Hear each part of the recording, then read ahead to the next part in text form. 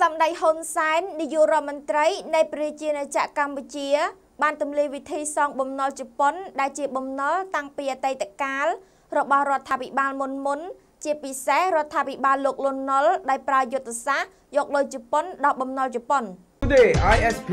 get connected រឿងមានរឿងមួយដែលខ្ញុំគួរតែនិយាយរឿងជាពាក់លុយជប៉ុនជាពាក់លុយជប៉ុនធ្វើម៉េចសងជប៉ុនបានព្រោះអញ្ចេះ អាពីអតីតកាលនោះកម្ពុជារដ្ឋាភិបាលមុនមុន ជាពិសេសរដ្ឋាភិបាលលន់ណុលនោះបានទឹកខ្ចីលុយជប៉ុនដល់បានទឹកខ្ចីលុយជប៉ុនវាហួសអត់សងគេព្រោះលន់ណុលអ្នកអ្នកលន់ណុលអ្នកខ្ចីប៉ុលពតមិនខ្ចីសងអញ្ចឹងអាមរតកហ្នឹងមកដល់ជាបន្តបន្តរដ្ឋកម្ពុជាក៏អត់បានសង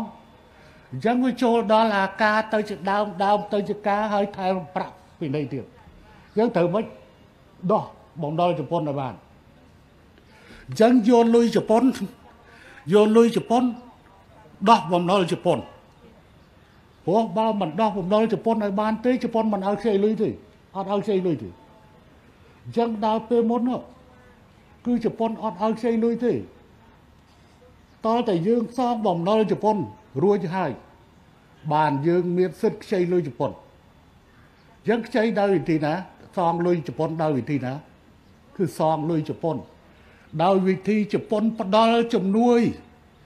ជាសម្ភារៈជាប្រេងសាំង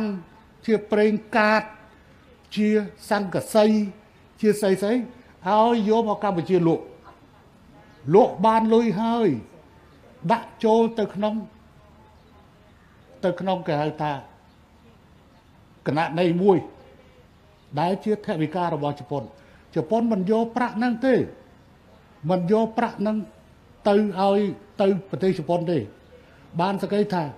គាត់ត្រាអារបស់ដែលលក់បាននេះចូលទៅក្នុងគណៈនៃមួយដែលសងបំណុលជប៉ុនតែជប៉ុនមិនបានយកត្រឡប់ទៅប្រទេសជប៉ុនជប៉ុនបកគលអាហ្នឹងមកឲ្យកម្ពុជាកសាងអញ្ចឹងយកលុយជប៉ុន ក៏អាយកលុយជប៉ុនសងជប៉ុនហើយអាលុយដែលសងនោះយកមកកសាងកម្ពុជាទៀតអញ្ចឹងបានដល់ទៅ3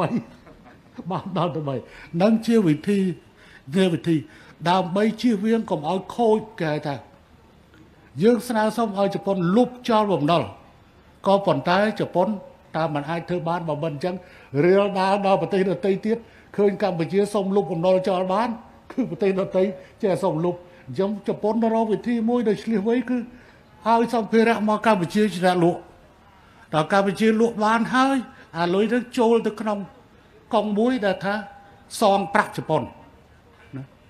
សងប្រាក់ជប៉ុនហើយជប៉ុនយកអាប្រាក់ដែលកម្ពុជាសង បានមកពីតំណែងលក់តំណែងរបស់ជប៉ុននេះយកមកកសាងកម្ពុជាបន្តរឿងវិញ្ញាណហ្នឹងបានជាក្រោយមក សងបំណុលអស់ហើយ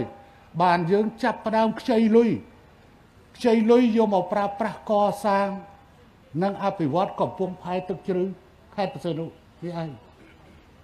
ដែលឥឡូវហ្នឹងប្រាក់កាសទាំងឡាយអភិវឌ្ឍកន្លែងនោះគឺទឹកប្រាក់របស់ជប៉ុនតែយើងខ្ចីពីជប៉ុនក្រុមហ៊ុន RS Rival Marketing Cambodia សម្ភារសុខភាពឧត្តមភាព Dream Firm X3 មិនចាក់ មិនលេបមិនវះកាត់គ្រាន់តែលាបប៉ុណ្ណោះ